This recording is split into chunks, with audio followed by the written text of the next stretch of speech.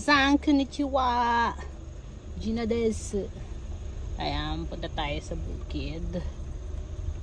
O tambo. Ito yung tambo. Ang tambo ay rice field sa Japan. Ayan. So, maganda na yung mga tubo ng palay natin. Ayan.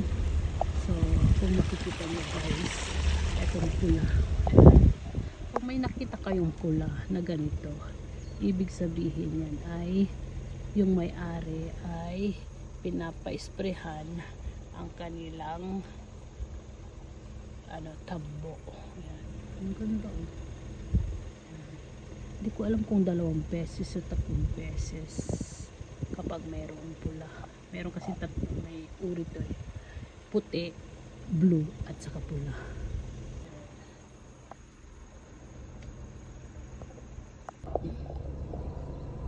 So hi guys, dito tayo ngayon sa tamo.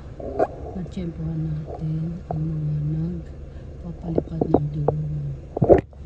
Ito yung drone nila guys.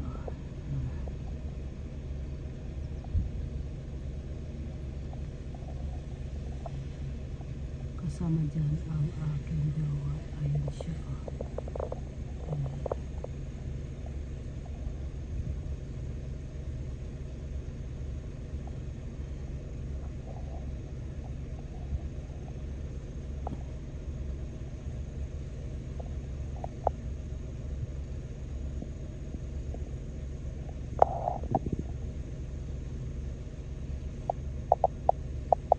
the actual performance of the drone.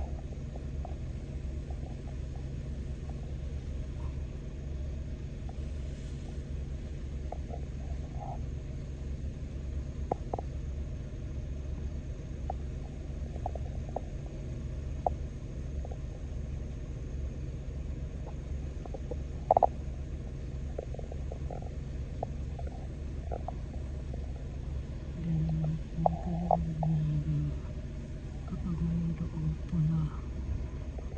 Ayan.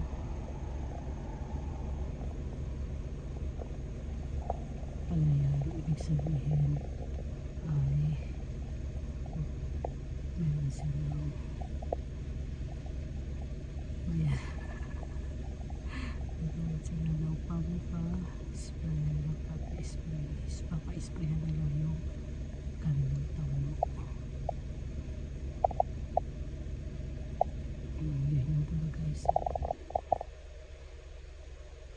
Tapos na. Tapos naglipat na sila sa kabila.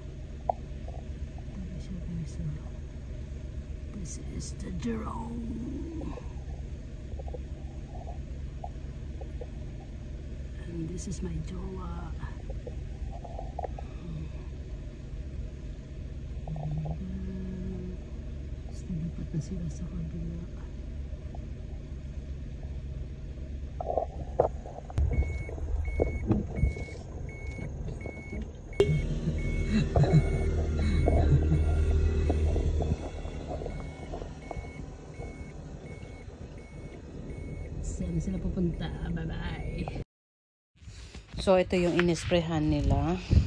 Merong red flaglet na ang ibig sabihin ay pwedeng isprehan niyang tambo na yan kasi nagbayad sila ng kinakaulang, kinakaukulang bayad.